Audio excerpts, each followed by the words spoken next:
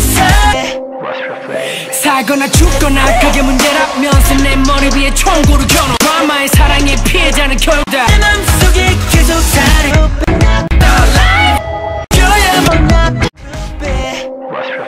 살거나 죽거나 그게 문제라면서 내 머리 위에 총구를 겨눠. 짓밟고 떠나가니 뻔한 드라마의 사랑의 피해자는 결국. 뻔하디 뻔한 이별의 결말. 살아도 나는 사는 게 아 숨 쉴수 말하지마 다툴 all not 했던 널 지우려니 갔던 모습만 아, 좋은 것만 남아.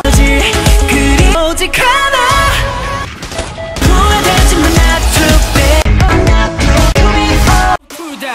결국 끝엔 배름을 흘리면 돼저 밑으로 가라앉아 식어버린 내 몸은 다시 그것이 못했는다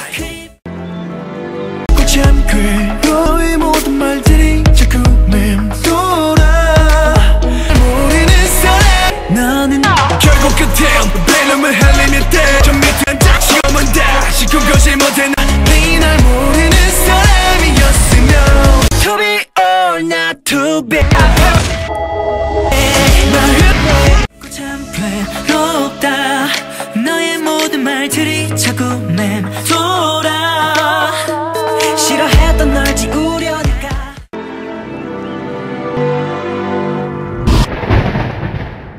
밤이 지나면 아침이 오는 것처럼 당연했던 우리 사이 외면했